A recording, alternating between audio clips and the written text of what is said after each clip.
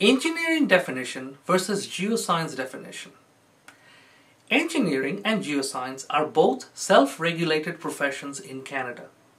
Both require extensive education and experience in order for an individual to obtain a license to practice.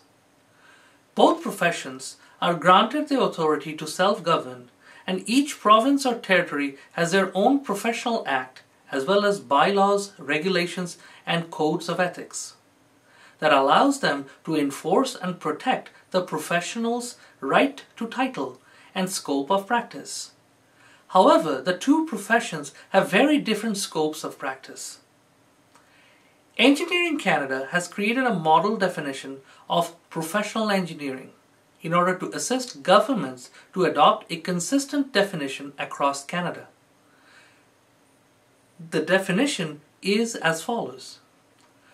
The practice of professional engineering means any act of planning, designing, composing, evaluating, advising, reporting, directing or supervising, or managing any of the foregoing that requires the application of engineering principles and that concerns the safeguarding of life, health, property, economic interest, and public welfare or, or the environment. Definition mentions engineering and therefore it must be further defined. The main difference between engineering and scientific principles is that in engineering there is an emphasis on useful application. This can be interpreted as, as almost any act that puts science and mathematics to creative and practical use, and that concerns the safeguarding of life, health, property, economic interest, the public welfare, or the environment. Engineers Canada has further defined the engineering and states that particular work must meet all three of the following criteria to be considered the practice of engineering. Number one, any particular intellectual activity or combinations of activities. Number two, the application of engineering principles.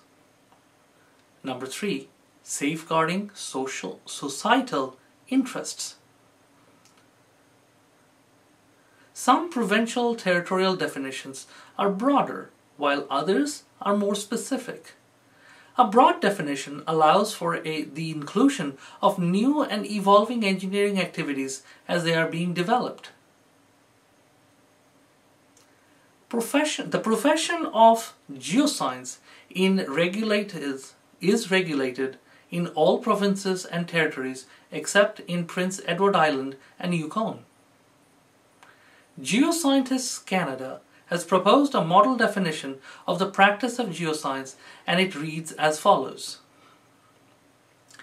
The practice of professional geoscience means the performing of any activity that requires application of the principles of geological sciences and that concerns the safeguarding of public welfare, life, health, property, or economic interests, including but not limited to A. Investigations, interpretation, evaluation, consultation, or management aimed at discovery or development of metallic and non-metallic minerals, rocks, nuclear or fossil fuels, precious stones, and water resources. B investigations, interpretations, evaluations, consultations, or management relating to geoscientific properties, conditions, or processes that may affect the well-being of the general public, including those pertaining to preservation of the natural environment. Furthermore, Geoscientists Canada have explained the profession of geoscience in more general terms as the study of the planet Earth and its many different natural geological systems. And as a study eh, and investigation of the Earth's minerals, soil, water, and energy resources, and how the Earth's natural systems work in the past and present, and how they may behave in the future. For both engineering and geoscience, the professional must look to their own Associations Act for the definition in their jurisdiction. Though the wording is similar in each provincial and territorial act, there are differences that can affect the professional scope of practice in each profession in each jurisdiction in Canada.